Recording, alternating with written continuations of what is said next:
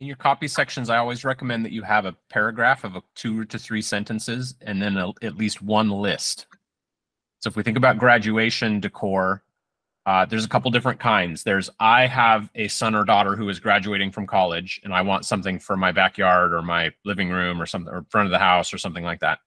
There's another kind of graduation decor, which is the decor that the school or university or venue is showing for a graduation ceremony. As as I think about what your website visitors are thinking about when they're shopping you, those should be two different pages. If graduation is a big market for you and you're selling to both of those, those are two different pages because you're going to want to show venue decor on a page.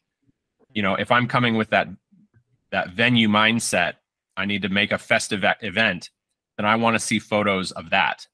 If I'm thinking of graduation decor on my front lawn or in my living room or that sort of thing, then I want to see that as far as the photos go.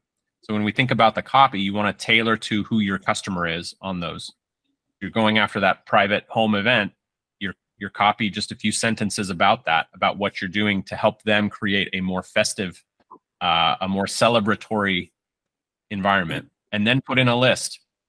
You know, uh, our customers that purchase graduation packages typically are looking for you know balloon garlands and balloon arches and some sort of list in there.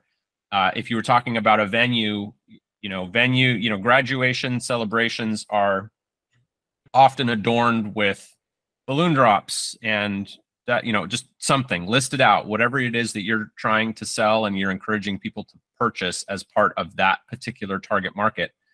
You want to create a list in here. And this guidance on the words on the page is really about search engines. It's really going to help the search engines understand what this page is for, who it's for, and what the related topics are, right? So with the way Bobby has added balloon garlands, balloon walls, photo frames, now if I'm looking for a graduation balloon photo frame, now this page has the opportunity to come up as a search result for that.